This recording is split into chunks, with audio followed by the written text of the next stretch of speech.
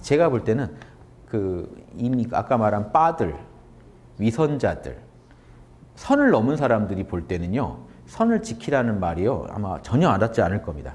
그러니까 저, 기 저희는 선을 넘은 위선적 그런 빠들의 정대척점에 있어요. 보살은 선을 지키는 전문가예요. 이쪽은 선을 넘는 전문가예요. 그러니까 이 소인배들 잡으려면 보살 떠야 됩니다. 별 수가 없습니다. 그 중간에 있는 사람들은요. 아닌 것 같은데 힘이 없어요. 뭐라고 말할 확신이 없어요. 진리에 대한 확신이 없어요. 이쪽은 진리에 확신 가진 사람이 이쪽은 욕심에 확신을 가진 사람. 난 이렇게 하면 이득 얻는다 하고 확신을 가졌어요. 다음 생은 모르겠고 인과도 모르겠고 이번 생에 확실하게 땡기겠다는 입장이에요. 이번 생에 누릴 거 다 누려보겠다 하는 입장.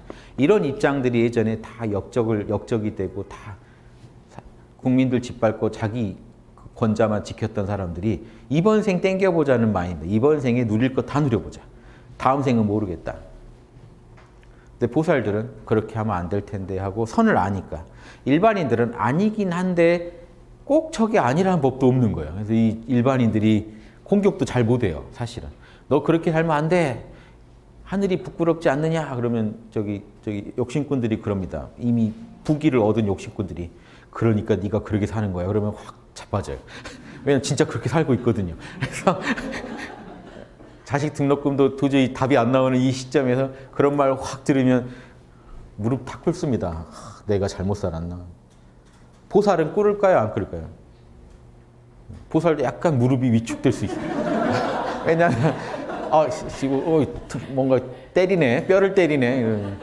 근데 일지보살부터는 그렇게 셀 수가 없어요. 일지보살부터는 육바라밀을 확실히 알기 때문에 그렇게 얘기하는 애가 지금 악업 짓고 있는 게 보이기 때문에 안 꿀려요.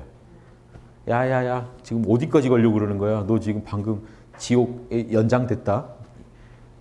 그 지옥 500년에서 지옥 600년 됐어 방금 너. 어, 아, 내가 안 돼서 그래. 너 그만해 진짜 하지 마. 못 보겠어. 나 이런 호름을 못 보겠어. 너 지금 계속 지금 장난 아니야.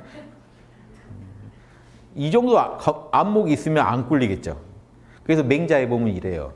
부기 가진 자들이 나를 불러서 가도 내가 돌을 펴러 거길 가도 그런 사람들 만났을 때 내가 조금 더 위축될 게 없다. 왜? 그들이 가진 건 내가 원하는 게 아니기 때문에.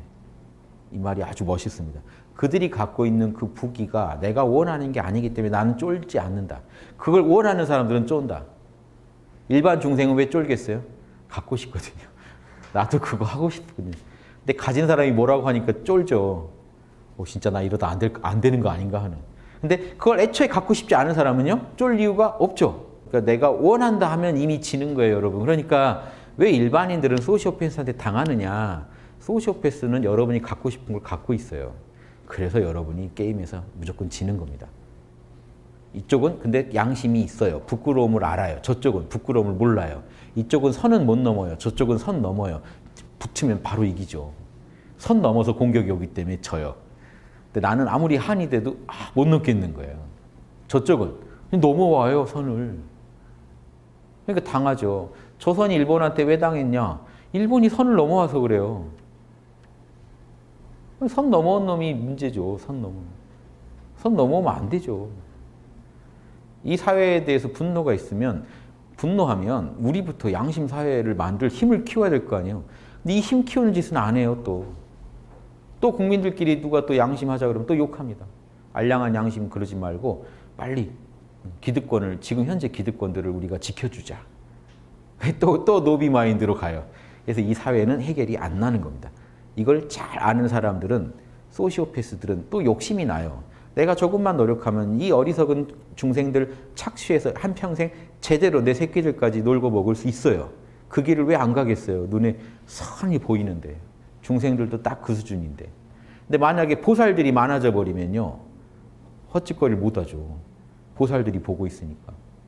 국민의 상당수가 또 보살도를 닦고 있으면 거기서는 헛짓거리 못 합니다. 그러니까 그렇게 건강한 사회, 면역력 강한 사회를 만들어 버리면 세균이 병균이 침입해 와도 다 막아낼 수 있다.